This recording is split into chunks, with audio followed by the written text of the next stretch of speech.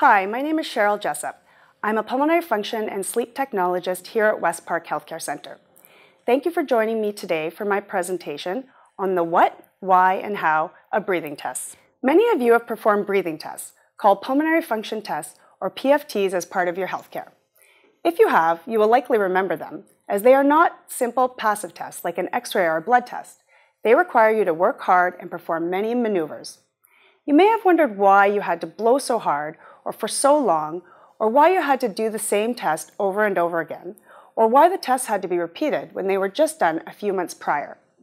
Well, I hope I can answer these questions for you as I explain the science behind the tests, why and how we do them, and what their results mean. Inside our lungs, we have structures that look like an upside down tree with many small branches. The branches are the airways we call bronchioles, and at the end of the branches are the air sacs we call alveoli. This is a cross section of an airway, or branch. It is hollow to allow the air to pass through. At the ends of the airways are the air sacs, which form clusters like a bunch of grapes. When we breathe in, the diaphragm, which is a muscle at the base of our lungs, contracts, moves down, our lungs stretch and enlarge, and air flows into our lungs through the airways and into the air sacs, where a process called gas exchange occurs. Our lungs then spring back because they are elastic, and this forces the air back out through the airways when we breathe out. When structures like the airways, air sacs, or diaphragm lose function or are damaged, as they are in respiratory disease, it changes how much air can get in and out, which affects the way you feel and your overall health and well-being. Pulmonary function tests are critical for doctors to understand how your lungs have been changed and to what degree. Your test results help doctors diagnose different types of respiratory disease, track changes in your lung function, assess the effect of medications, and also assess your risk for surgery. Before performing breathing tests, we first need to determine how your lungs would function if they were a set of normal, healthy lungs. Everyone's lungs are a different size, and their size is determined by three things. Height, age, and gender. So taller people have larger lungs, younger people have larger lungs, and men generally have larger lungs than women. So a tall 21-year-old male will have very big lungs, and a 5-foot 80-year-old female will have significantly smaller lungs, but their lung size is normal for each of them. By knowing your age, your height, and your gender when you come for testing, we get an estimate of what your lung size and function should be, called your predicted values. The results of your breathing tests will be compared to your predicted results. If your results are within a certain range of your expected results, then they are considered normal. However, if they are outside of the normal range, then this shows that your lung function is abnormal. The more outside the normal range your results are, the more severe the lung dysfunction is. There are many different breathing tests used to measure different aspects of your lung function. During the testing, a technologist like myself will coach you to perform each test in a certain way with your best effort possible. Each maneuver is repeated multiple times to ensure that measurements are consistent. Consistent measurements mean that the results are valid. The tests are usually done in an upright sitting position, but some tests may be repeated lying down. Spirometry. Spirometry is the most common pulmonary function test performed, sometimes called the blowing test. To perform the test, you take a big breath in, fill up your lungs all the way, and then blow out until your lungs are completely empty and then fill up your lungs all the way again. This maneuver is called the slow vital capacity because she blew out the air slowly. The more common and much more memorable spirometry test is the forced vital capacity, where you have to blast out the air as hard and as fast as possible for as long as you can, like this.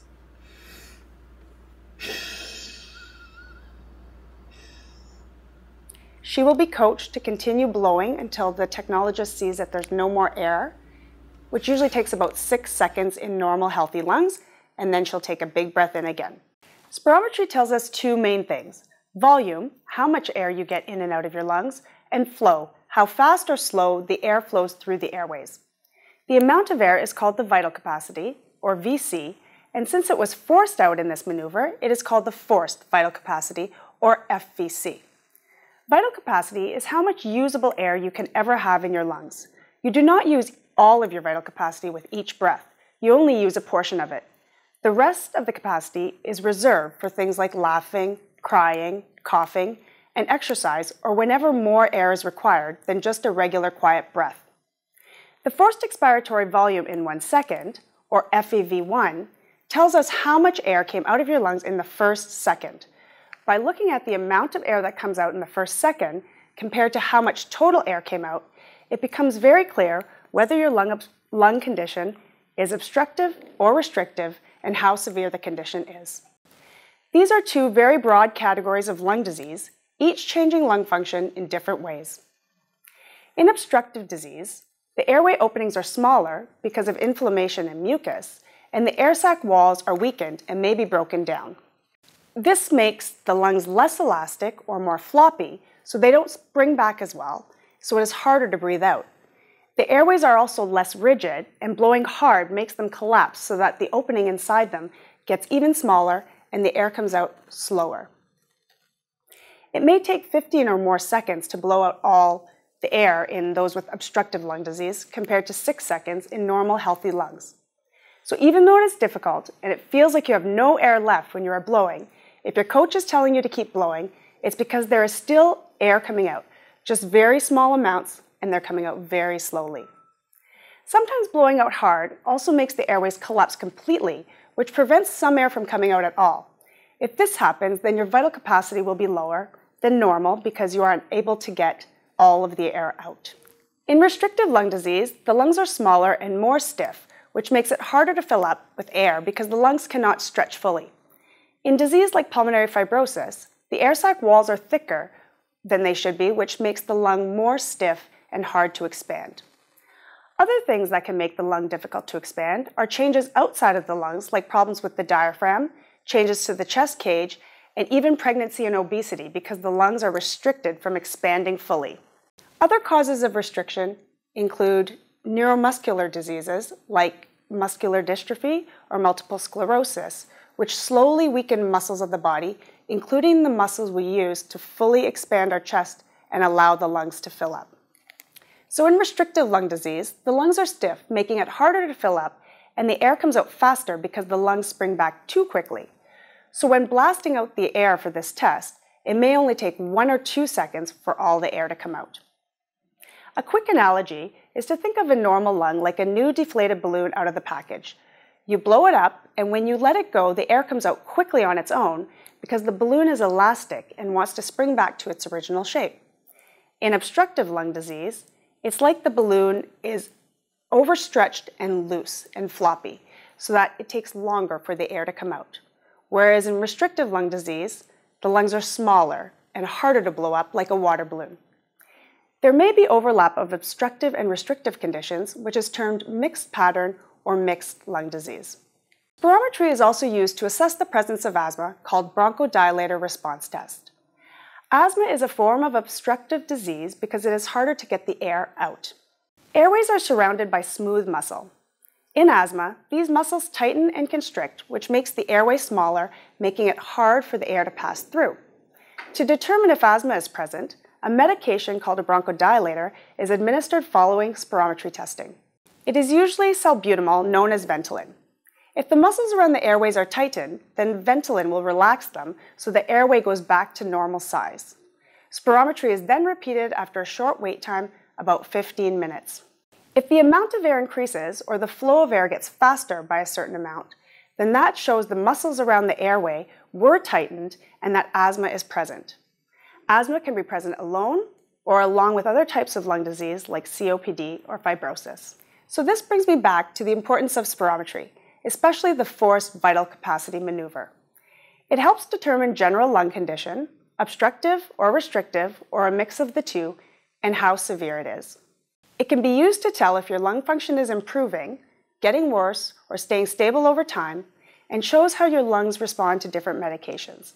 It is understandable why it is the most widely used measurement of lung function. Now, there are other tests that are used less routinely, but give us more specific information about lung function. Diffusion of carbon monoxide in the lung, or DLCO. Our bodies get oxygen from the air we breathe.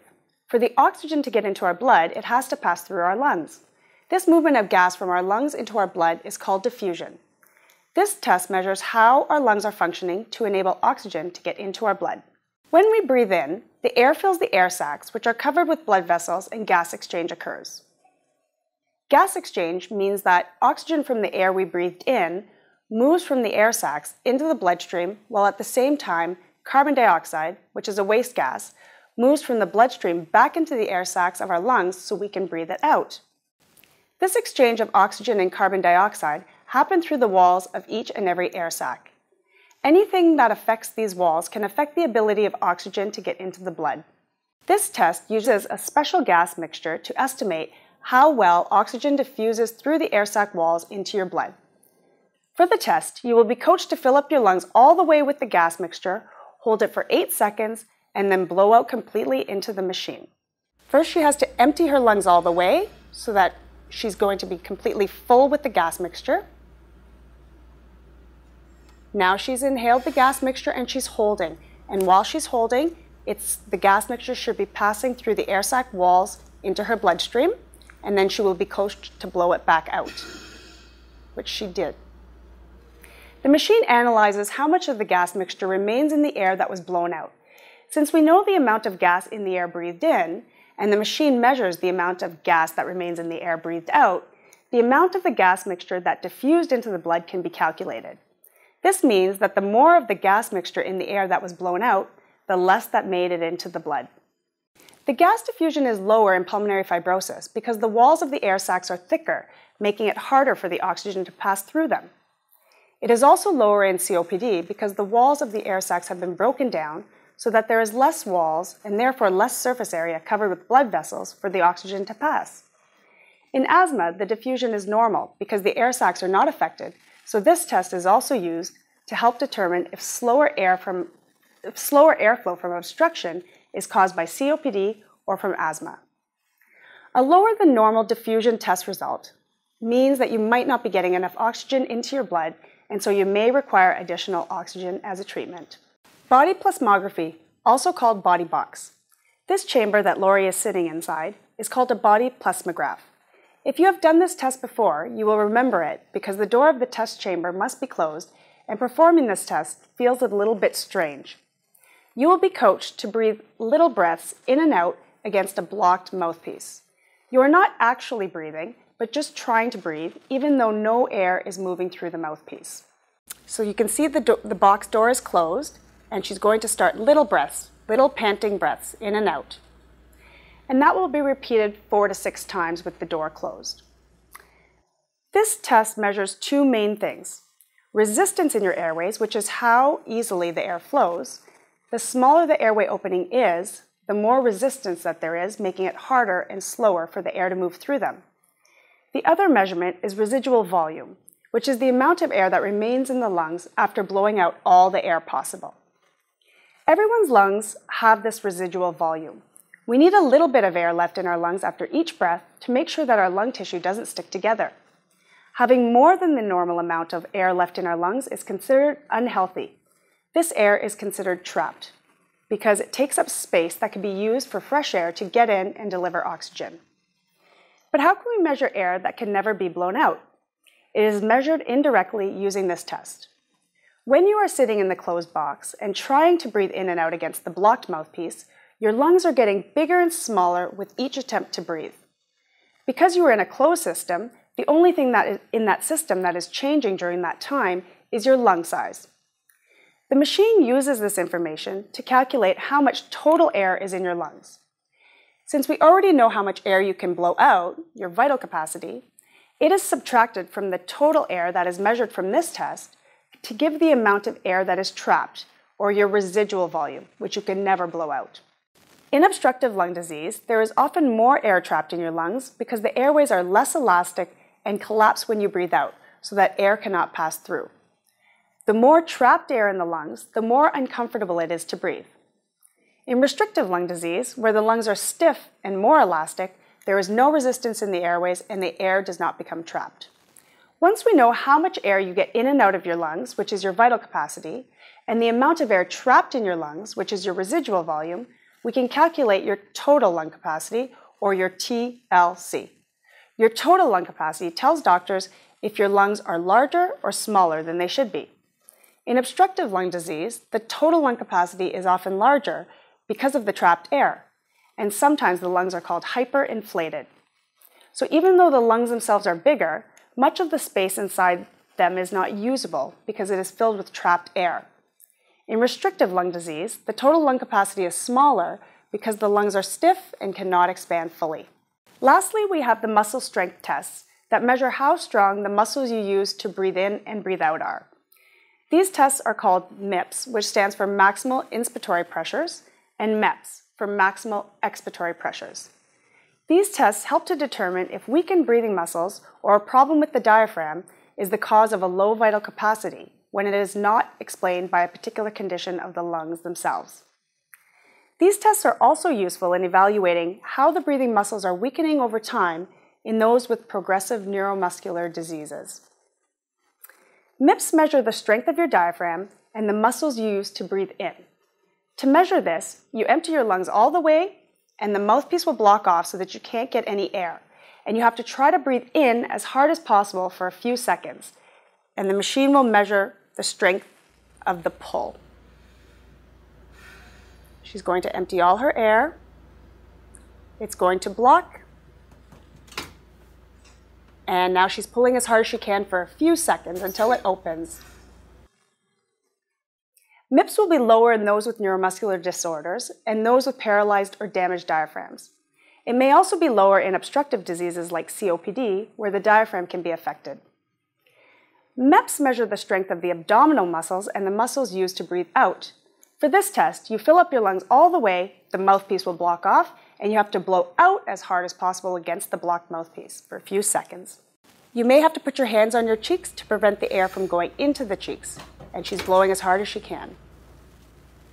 MEPS are also lower in those with neuromuscular disease. So those are the pulmonary function tests that we perform here to evaluate how your lungs are functioning while you are awake. But what about lung function during sleep? Breathing during sleep is often measured as part of a different test called a polysomnogram, or PSG, but most just call it a sleep test. The test is done in a sleep laboratory where you stay overnight with many electrodes and sensors attached to you to measure your sleep, heart rate, muscle movements, and your breathing. Your brain waves tell us if you are awake or asleep and what type of sleep you are in light, deep, or dream sleep. Sensors on your nose and mouth measure the flow of air in and out as you breathe and also measure snoring. Your efforts to breathe are measured with belts that go around your chest and waist that move when you breathe in and out. Oxygen and carbon dioxide in your blood are measured with, a, with probes that go on your finger and arm. When we sleep, our body functions slow down. Our brain waves slow down, our heart rate slows down, and even our breathing slows down. Our breaths become a little smaller, oxygen levels get a little lower and carbon dioxide levels get a little higher. These changes do not have a big impact on a healthy person, but for someone with lung disease, they can have a significant impact and can make your oxygen level too low or carbon dioxide level too high during sleep. Sleep is often more disturbed in those with respiratory disease because of more awakenings from coughing and shortness of breath.